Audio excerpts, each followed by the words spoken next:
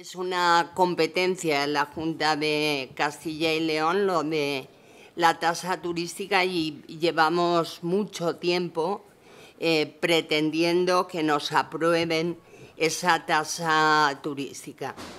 Hay que decir que, los beneficios de esa tasa en principio mm, serían supuestamente eh, irían a la hucha común, en este caso de la Junta de Castilla y León, pero eh, pueden tener, es, muy difícil decir ponemos una tasa eh, turística que luego revierta en la conservación del patrimonio. Es decir, en principio, tal y como están establecidas las tasas turísticas, es competencia de la Junta que establecerla y cobrar. Nosotros queremos eso y queremos intentar el paso más allá y es que efectivamente esa tasa turística revierta en la conservación, en la gestión de la ciudad, del mantenimiento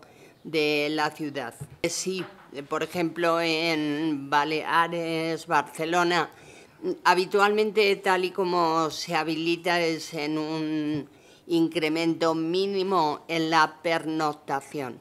Y es por lo que a veces las instituciones son un tanto reacias porque piensan que un euro más, dos euros más, que son lo que de lo que se viene hablando cuando es tasa, pues puede eh, hacer que la gente no se quede a dormir.